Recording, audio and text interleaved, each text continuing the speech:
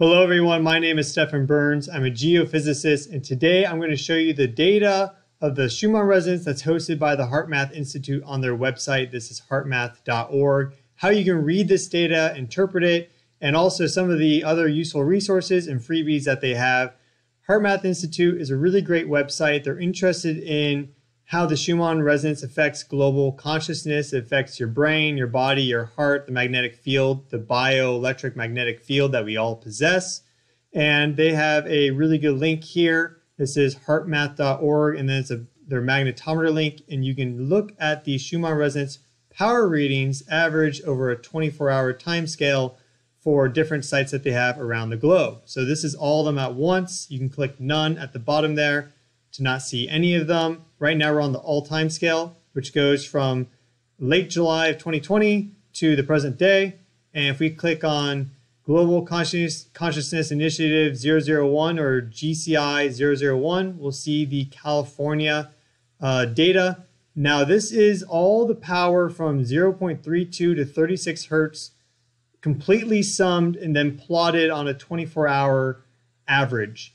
So you can see that the uh, the Schumann resonance power is higher during the summer months in California than it is during the winter here, right? This is lower, getting values like 50, then up here getting values like 150.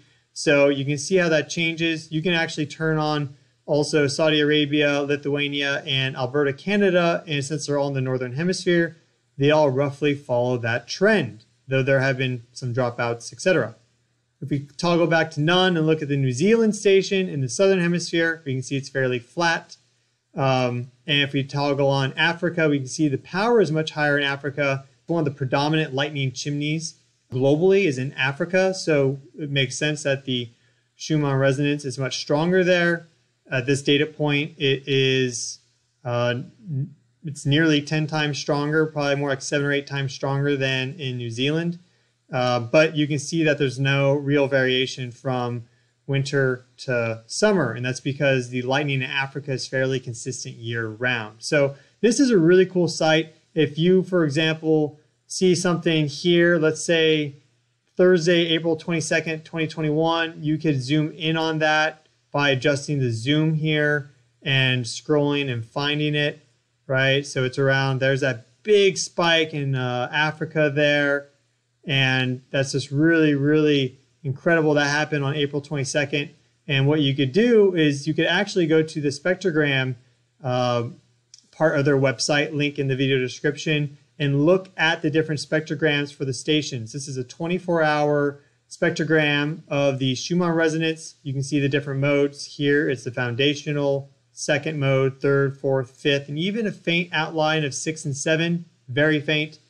Uh, for all the different stations, again, GCI 1 is California, GCI 2 is Saudi Arabia, GCI 3 is Lithuania, then you have Canada, New Zealand, and South Africa. So this spectrogram calendar is really useful. We could actually investigate that uh, April disturbance in South Africa. So we'll type in April 22nd, 2021, and here are the spectrograms for all the stations around that time. April 22nd here, click that. And this is our spectrogram from that high amplitude day that we noticed in the all power graph for South Africa. And you can see it's just completely, completely gained out.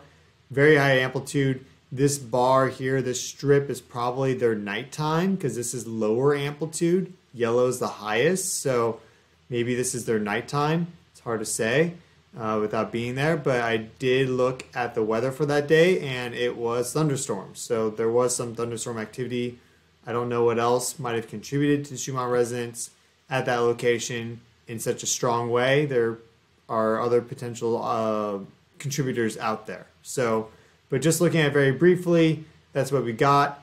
And this spectrogram calendar is just a very useful tool that you can use. Uh, you can look at the spectrograms daily if you want. You can look at them weekly uh, as part of your Schumann resonance research or just to just as a fun thing to do to learn about electromagnetic waves. So I highly recommend you look at the HeartMath Institute and their links for their magnetometer readings and also their spectrogram because it's one of the best resources out there for Schumann resonance enthusiasts. Some more information is on their site. Uh, links to all these also. This is their uh, magnetometer that they use, a prototype of it, and you can see it's uh, quite a large contraption here. They've installed it. You can see the three different components that they have. Uh, so three different magnetometers, one measuring north-south, one measuring east-west, one measuring vertical. This is in California.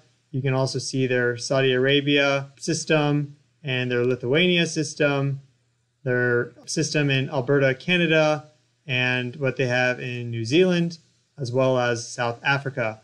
This is another interesting link in the video description. Here is the map of where these are, and you can see how they have good coverage of North America and of uh, Europe, Middle East, and Africa overall. And if you know how to read the Russian website, SOS for Schumann resonance, which is located at Tomsk, which is pretty center for the Eurasian plate, then you actually have a really good um, set of resources to use to monitor the Schumann resonance worldwide. Here's New Zealand. We they are missing Asia and Southeast Asia. They're missing South America. They're hoping to bring those places online. So if you live in one of those areas and you want to help install one of these stations, please reach out to the HeartMath Institute. Again, that's heartmath.org.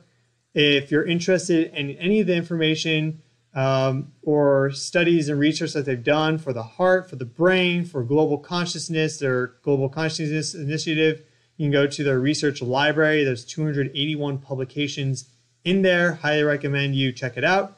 And if you want some freebies, then again, links in the video description for this. You can go and become a HeartMath emissary, uh, join the global consciousness community, and get their energetic heart PDF, which is a sizable download, tons of good research in there. Highly recommend you read it.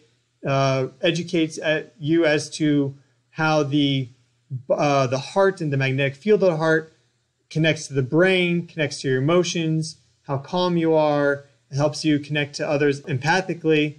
And I highly recommend you read this PDF so you can get it for free just by signing up, becoming one of their community members. And you can also get their Science of the Heart PDF uh, by going to the Science of the Heart URL video description below. And it's a 11 chapter ebook with a bibliography at the end, all about the heart, and it explores the role of the heart in human performance. So I highly recommend that you check out the HeartMath Institute website, look at their different Schumann resonance data that they host. It's really interesting to look at these trends for individual stations or for all of them at once. And also, they have a really good network of spectrograms that they host as long as the stations are online. So really, really great data. Highly recommend you check it out. If you're still learning about the Schumann resonance, I recommend you watch my Schumann resonance What Is It video. Uh, that's uh, right there. Click that card. You can also, if you're interested, this this uh, graph right here does not show diurnal changes in the Schumann resonance. It's smooth on a 24-hour time scale. Uh, if you're interested in learning about the Schumann resonance, uh, and how it changes diurnally, you can watch my video on that.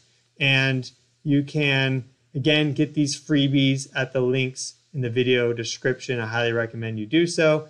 If you like the video, politely click the like button. Please subscribe to my channel. Share this video with friends who are interested in the Schumann resonance or electromagnetic phenomenon. And if you have any questions or comments, please leave them in the, uh, in the comments below. Happy to answer those and help educate you further.